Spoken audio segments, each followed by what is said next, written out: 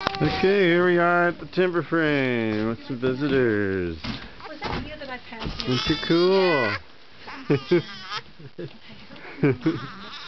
And then I, I saw. Allison, Uh-huh. Melissa, Yeah. and Becky. Oop, I can see someone down there too. How do you get corny? Let's Isn't it crazy? Amazing.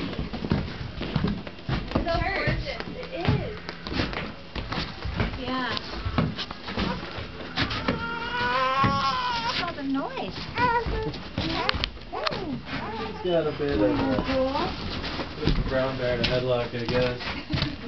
There's the big mountain Jar over of there. mustard in a headlock. Or Claire. Claire.